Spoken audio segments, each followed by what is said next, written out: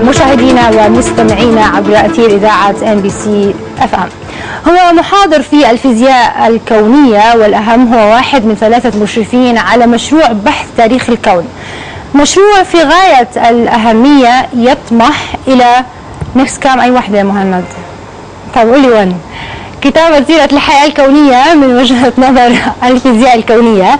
هو ابن مدينة الناصرة يهوى التاريخ ويقول إنه كان محتارا بين درايته أو التوجه إلى دراسة العلوم. يعيش هو وعائلته الصغيرة في هولندا وقام طاقم MBC في أسبوع باصطياده خلال عطلته السنوية في مدينته التي يهواها. عن من نتحدث؟ تابعوا التقرير.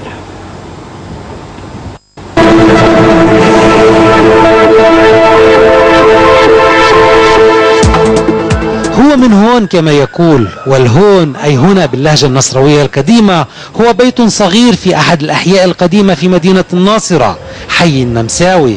هنا ولد وترعرع وتعلم قبل أن يصل إلى هناك إلى حيفا فالقدس والولايات المتحدة وهولندا حيث يعيش اليوم. هو يعشق هذه المدينة. بعد المقابلة في حديقة المنزل انطلقنا إلى هناك إلى حواريها القديمة وقناطرها المزدانة بالورود. موطن الحنين كما يقول. أنا أنا سليم زروبي ابن الناصري أنا من هون طالع من, من أنا من هون وراح أضل من هون. أنا شخص عم بحاول يفهم الدنيا وبفهم بحاول يفهم العالم وبتامل إنه من هون ل يخلص مشوارنا في الدنيا اكون عملت شغلة اللي هي خاصة اللي قدمت الفهم البشري للفهم البشري للطبيعة ولو بصامتي أو بتنين.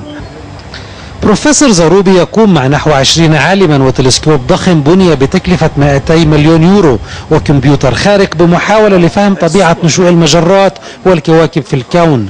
فهولندا منذ بدايات القرن الماضي اختارت التخصص في مجموعة معينة من مجالات البحث العلمي من بينها مجال الفيزياء الكونية وتحديدا موجات الراديو الصادرة عن ذرات الهيدروجين كوسيلة لكتابة تاريخ الكون في أول 400 مليون عام من عمره. مرحلة يعتقد العلماء أنها كانت الحاسمة في شكل ووتيرة تكون نشوء المجرات والكواكب. أنا بحاول أفهم المرحلة اللي فيها الكون تحول من كون متجانس تماما. في بدايته كان الكون متجانس كانت نقطة مثل الأختها من ناحية حرارة من ناحية طاقة من ناحية ضغط من ناحية كل خواصها. الفروقات هي واحد في المئة ألف كانت. ضئيلة ضئيلة ضئيلة جدا. كيف من هاي الفروقات الضئيلة اتطورت الفروقات الهائلة اللي اليوم بنشوفها في الكون حوالينا؟ بنطلع في مجرات أنا قاعد هون انت غاد في فراغ في في كواكب سيارة إلى آخره.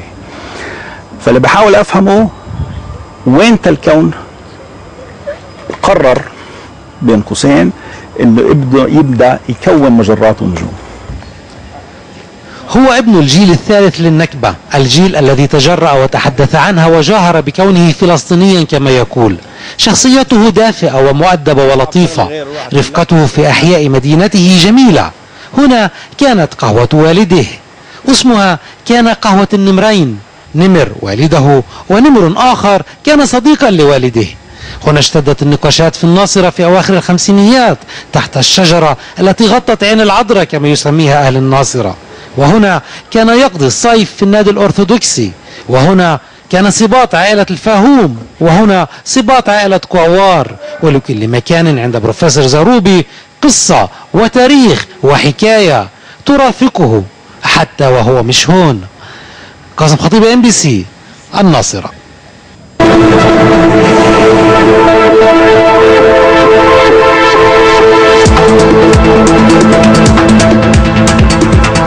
تحية لزميلنا أكيد قاسم الخطيب مبدع دائما نقول له أيضا كل عام وأنت بألف خير. نروح فاصل. فاصل. بالأمل والابتسامة حققوا مقولة الحاجة أم الاختراع فالزيتون الفلسطيني في غزة. ليس ثمرة تؤكل وحسب بل ثمرة تساهم في توليد طاقة صديقة للبيئة.